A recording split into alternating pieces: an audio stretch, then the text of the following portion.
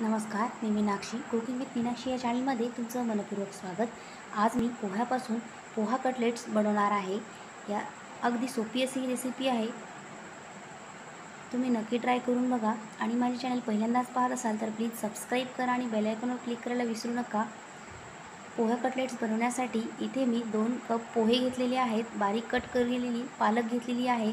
कांदा बारीक कट करून घेतलेला आहे. आणि मिरच्या घेतलेल्या आहेत.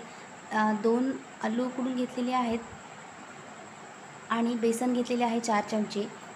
पोह्यामध्ये उकडलेले आलू मिक्स करून घ्यायचे. त्यानंतर यामध्ये बारीक कट केलेली पालक जर तुमच्याकडे कोथिंबीर किंवा काही भाज्या असेल त्यासुद्धा तुम्ही टाकू शकता.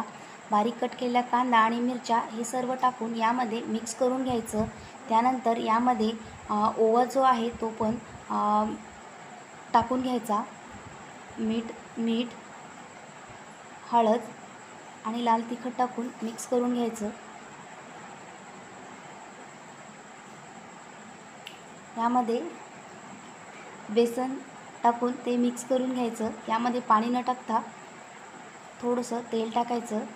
तेल टाकल्यानंतर कटलेट्स तयार करून घ्यायचे.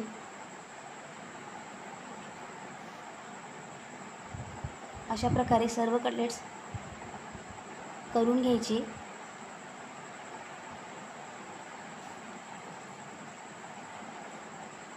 इकडे मी कढईमध्ये तेल गरम करून घेतलेले आहे. जर तुम्हाला फ्राय करून घ्यायचे असेल तर फ्रायसुद्धा करून घेऊ शकता.